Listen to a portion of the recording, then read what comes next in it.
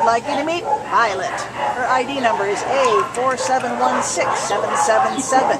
Violet is a little silky terrier mix female, tan and white. She came to the shelter uh, as a stray from El Monte on June 2nd. And we think she's about three years old, so she's still kind of a young blade. She's a doll. She's okay with other dogs and, uh, and okay on a leash, so energetic. Once she got out of that kennel environment, she's perking up really pretty quickly. She like, looks like a little pixie face. Look at that little pixie face. She takes treats very gently, so that's a sweet thing. And we think she's going to make a good family pet. She, now she's really interested in the other terrier that's over there. very curious about that.